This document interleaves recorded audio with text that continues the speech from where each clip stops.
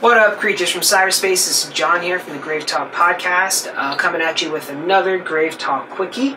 Today, we're going to talk about Trick or Treat. Um, this is a movie that was released in 2007. It was written and directed by Michael Dougherty, who is now the director for God, the upcoming Godzilla King of the Monsters movie.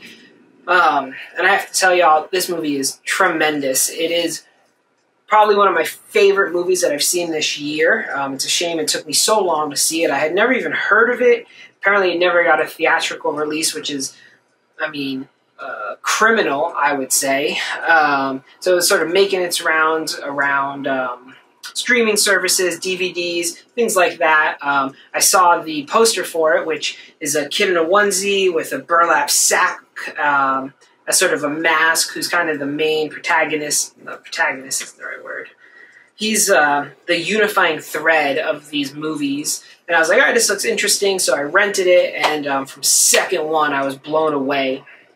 So the movie is an anthology. It's, it's four separate stories that are taking place on a certain Halloween night, and this is like a uh, in a, a very cinematic Halloween. It really hits all the tropes. You have an amazing amount of jack o' lanterns. It really captures the fall, um, which, considering that it's July and well over 100 degrees in Austin, was um, nice to see.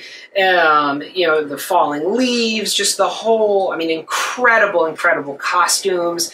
Really, just the, the whole perfect Halloween package in this movie. Um, so these four stories take place in there. There's a, a incredible, really strong werewolf scene, a werewolf story, really. But there's one scene where they transform into the wolves that blew my mind. It was a very different approach, very uh, visceral, gruesome approach to transforming into a werewolf. I don't want to spoil anything, but I have to tell you. Um, you know, I just finished watching this movie maybe 10 minutes ago, so I'm might be a little bit on a high, but right now it's one of my favorite scenes, uh, one of my favorite werewolf transitions that I've ever seen. Super, super strong. Um, there's a my favorite of the stories, the school bus massacre, about a school bus that drives off a cliff and um, the repercussions of that particular action. It ties into another story about an older gentleman, and then um, there's a story about a couple that doesn't like Halloween that kind of opens the film.